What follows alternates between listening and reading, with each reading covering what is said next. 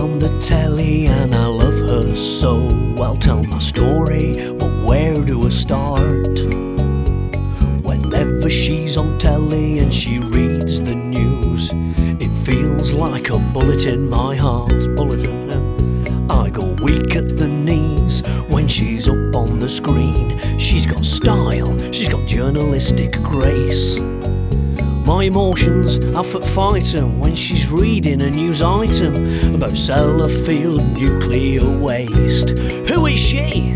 Lucy Meacock, Always in my thoughts. Lucy Meacock, Queen of Granada reports. I've got me tea on me lap, waiting for six o'clock so I can be with my Lucy Meacock. In the northwest, you might not know this girl. She presents Granada reports with a bloke called Tony, Jammy Beggar. She's got loads of clips on YouTube.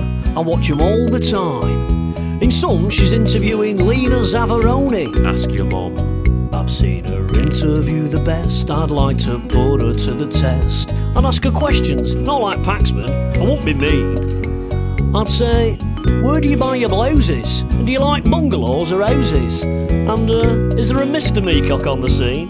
No harm in asking. Lucy Meacock, Always in my thoughts. Lucy Meacock, Queen of Granada reports when she tells me there's job cuts my heart goes into shock she's lovely that Lucy Meacock ever get to meet her? Well, I don't think so. After all, she reads the news, I sing folk hits. I have to work that bit harder get a job at that Granada so I can get a good look at her script. Yes, I'd supply the booze, she could supply the auto cues, and we could run away to Blackpool and see the lights. And as we cuddled up in bed, I all the words that would be said.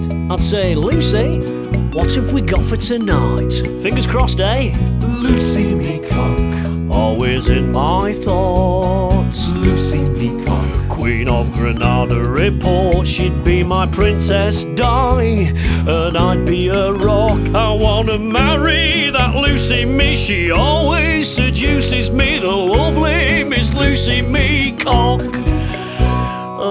I know where you live.